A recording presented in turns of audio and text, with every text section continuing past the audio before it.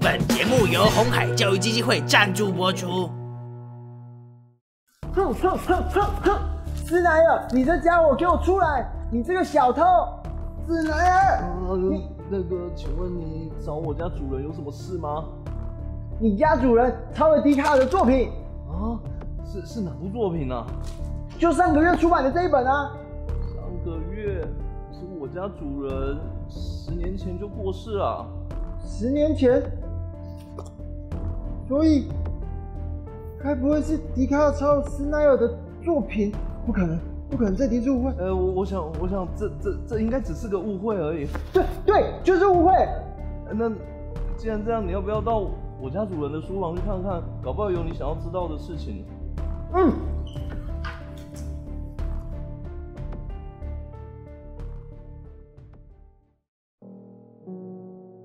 那个是什么？这个。这是我家主人生前最后的手稿，搞不好你会有兴趣想看一下。这这个图跟笛卡尔的一模一样，怎么可能？笛卡尔真的是抄的吗？这封信，这封信我好像看过，你有印象？这封信是我写的，那时候。我家主人说要把这一封手稿抄给两个人，这两位是，第一个好像是叫做费马，另外一个其实就是笛卡尔。这这怎么可能？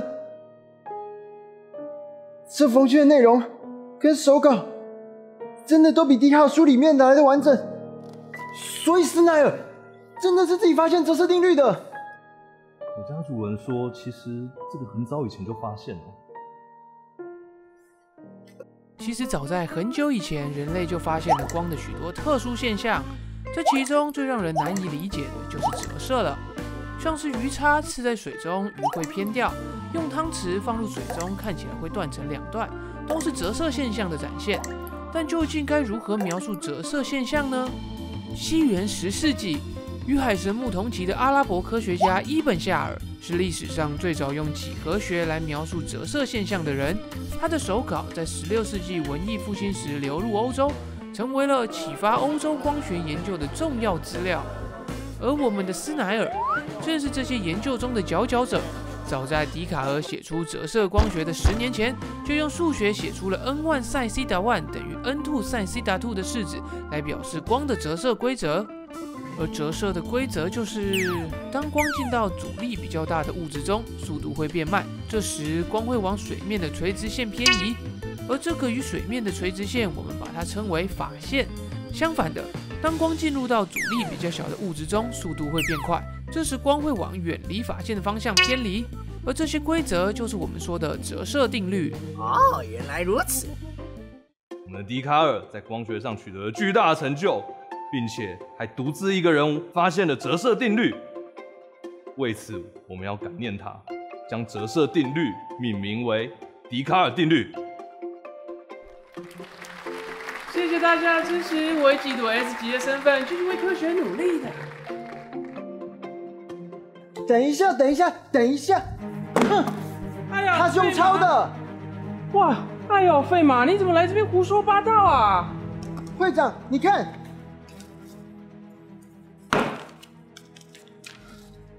这东西从哪里来的？是我从斯奈尔家找到的。十年前，他的仆人跟我说，他有把信寄给笛卡尔。你胡说！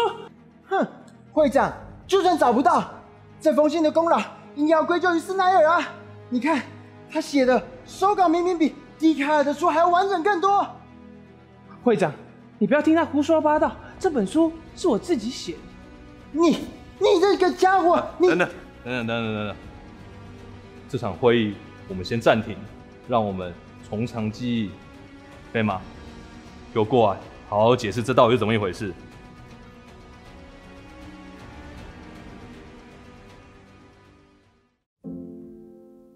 在我们研究了斯奈尔的手稿之后，我们发现斯奈尔对折射定律做出的贡献是比笛卡尔还要卓越的，因此我们特定将折射定律命名为斯奈尔定律。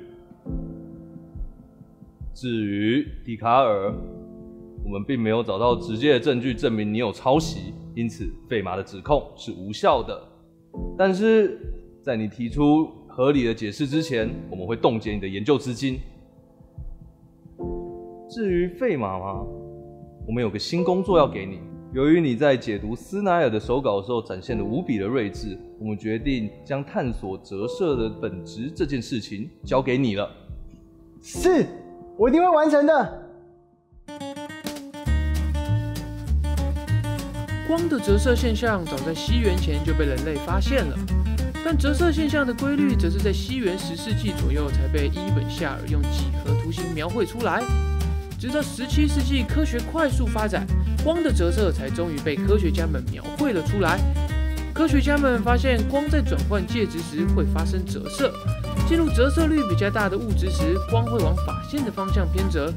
进入折射率比较小的物质时，会往偏离法线的方向前进，而这就是我们现在说的折射定律。